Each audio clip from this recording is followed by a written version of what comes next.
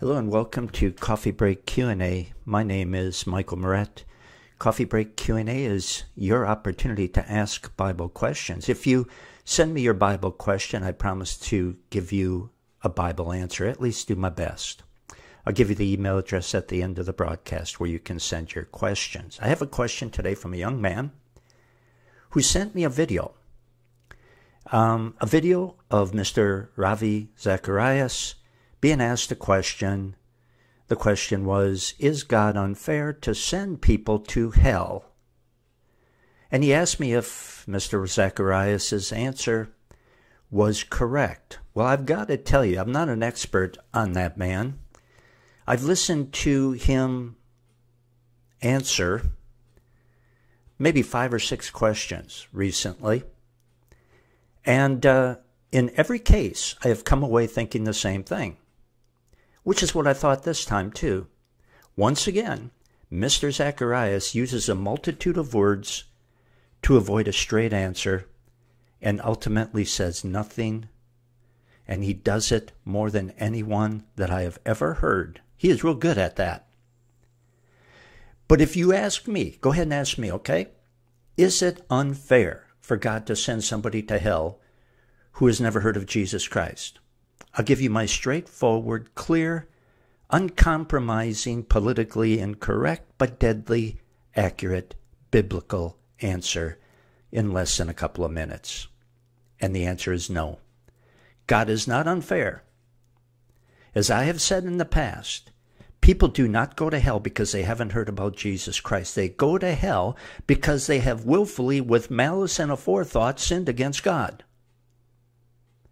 The only way to get to heaven is to hear about Jesus and to repent and receive him. There are no plan Bs, there are no exception. That is what Jesus taught. That is what the Bible teaches.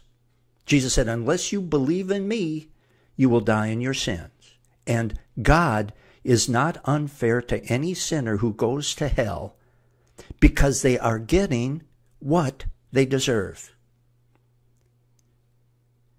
If you want to talk about unfair, then let's talk about how unfair it was for Jesus to be hated, lied about, falsely accused, beaten, spit upon, whipped, and whipped badly, bloody, mocked, nailed to the cross for the bad things that we have done. That's unfair. That was very unfair. But he and the Father willingly put themselves through that ordeal out of love for us. But back to the question God is perfect in every way. He is incapable of doing anything wrong, including being unfair. So when that question was asked to Mr. Zacharias, that should have been at the beginning of his answer.